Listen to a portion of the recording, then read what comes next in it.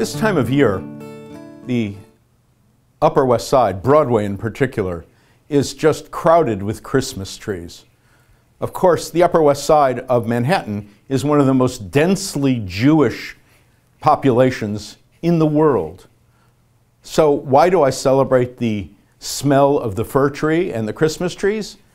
Because we live in a society where Jews are, in fact, a minority.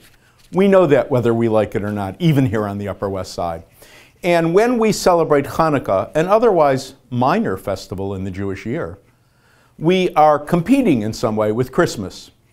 I remember 30 years ago when I was spending an academic sabbatical at the University of Cambridge, and my then three year old daughter came home from her daycare center singing a Christmas carol.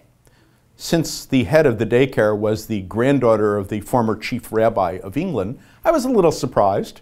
But she explained that England was a Christian country and so they learned Christmas carols.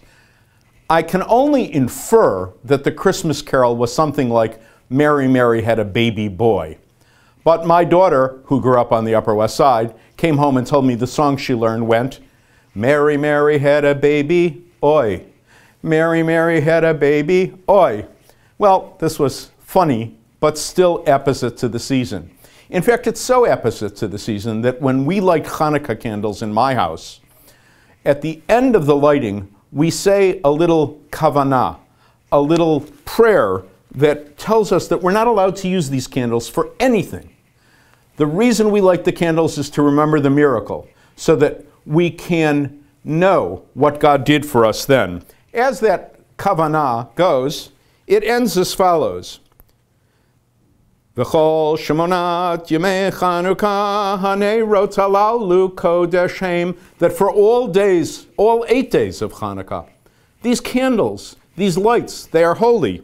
Ve'ein lana reshut lehishtamesh bahem, we have no permission to use them. Rather, ela lirotam belvad, we can only look at them. But in my house, this is how we sing it. Ve'ein lana reshut lehishtamesh bahem, אלא לראותם בלבד, כדי להודות לשמך הגדול, על ניסך ועל ישועתך.